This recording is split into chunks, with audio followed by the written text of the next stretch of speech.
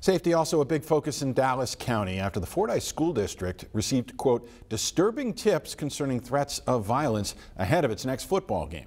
Security is ramping up, looking to keep students and fans safe tomorrow night. THV 11's Brooke Buckner shows us the district's plan. The rivalry game between the Fordyce Redbugs and the Rison Wildcats is expected to bring in at least a thousand fans. But when they arrive, they can expect security to look a bit different. Really hope nothing happens, but you know, just to be better safe than sorry.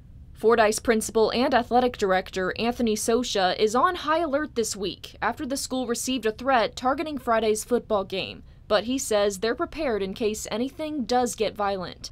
According to the school district, everyone entering the stadium will go through metal detectors. Everybody has to remain in their seats. Uh, students have to be with an adult. Uh, no students can come in without an adult uh, present. Um, our fans must stay on our side. Their fans will stay on their side. Um, we're keeping fans out of the end zone area. And once you leave the stadium, you can't come back in. I think it'll be the safest place in Arkansas.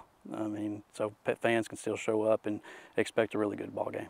Sosha says multiple law enforcement agencies will be there to help enforce the new rules. We talked to the state troopers, and I think they said they'll have eight here. Um, and then our sheriff's department will have a few here, and then the county will have a few here as well. Fordyce Assistant Superintendent Rhonda Lawson says this is the first year they've increased safety to this level. It's just a sign of the times that we're living in, unfortunately. She echoes the same sentiment as Sosha. Being overprepared is the safest thing for everyone. My main thing is to keep the students safe and to allow these kids to be able to play the game they love. In Fordyce, Brooke Buckner, THV 11 News. Brooke, thank you. You're also asked to bring only clear bags into the stadium. You can get the full list of safety measures that the district is taking on our website, thv11.com.